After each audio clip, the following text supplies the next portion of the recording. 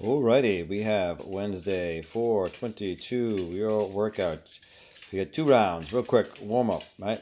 And then we'll go through the bodyweight Turkish get ups just a little longer in the warm up. The workout, you'll be on your own because you have seen them already. Main, we're going to do A, five rounds. We go 10, we go 8, we go 6, we go 4, we go 2. And then we do the same thing with B. But that weighted step ups, Turkish get up, those are always going to be the same reps each round, 10 each side. The step ups, Turkish get ups, for each side, and hopefully with some kind of weight. All right, so real quick, let's do this. Okay, and we do our jumping jacks. 20 jumping jacks, you get steps. You want to go for a one minute jog, go for that. Okay, circle push ups. All right, push up. We're gonna stretch of that shoulder. Okay, you do six, so three and three. Sumos, really guys work through these. Get the wide stance. Stay down there for a second. Really stretch, you know, hip flexors. Six of those. Half moon.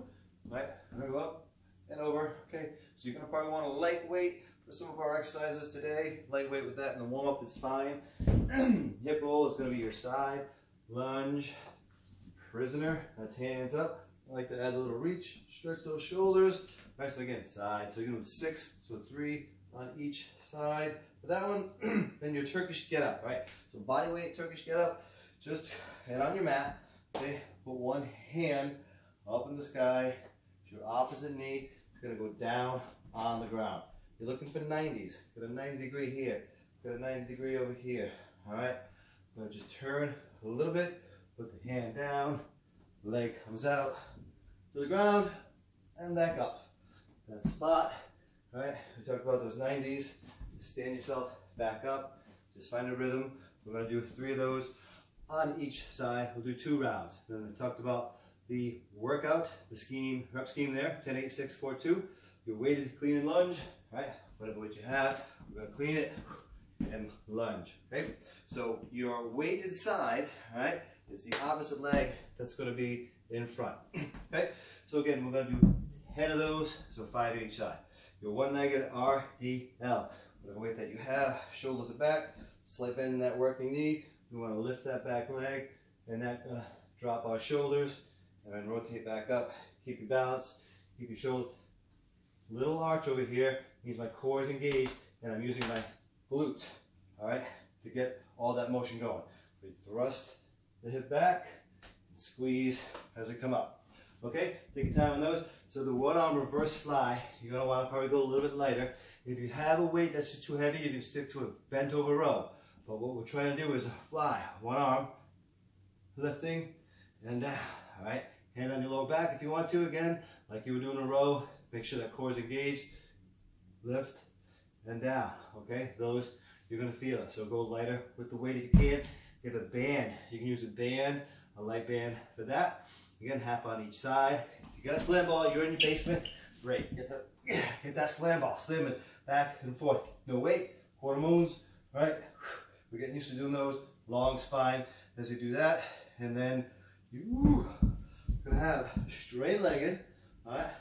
One arm, toe touch, all right? We're gonna go up, touch that toe, up, touch that toe. Again, if you can, go up, maybe hold, up, maybe hold, all right? But keeping the legs up the whole time.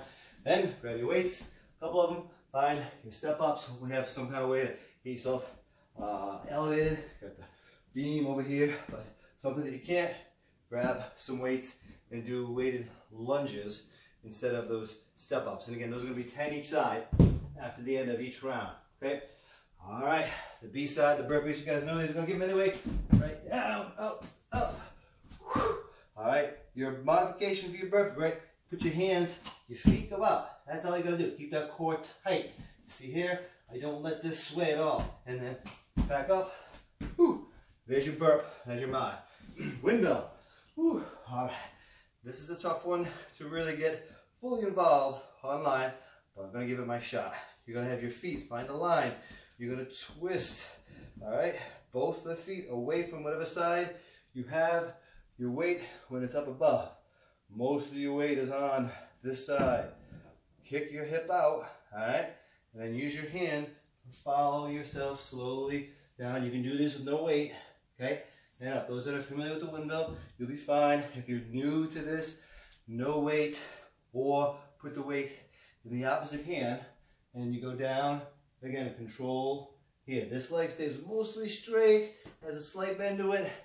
You have to be real flexible in order to look like me when you do this exercise.